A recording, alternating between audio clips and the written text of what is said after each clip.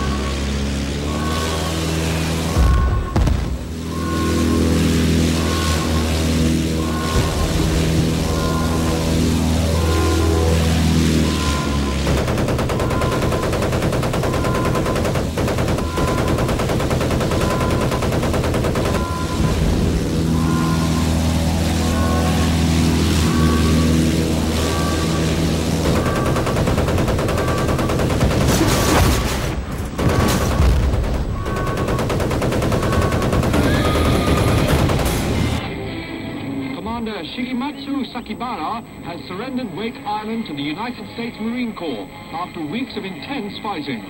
In a brief ceremony, the handover of Wake was...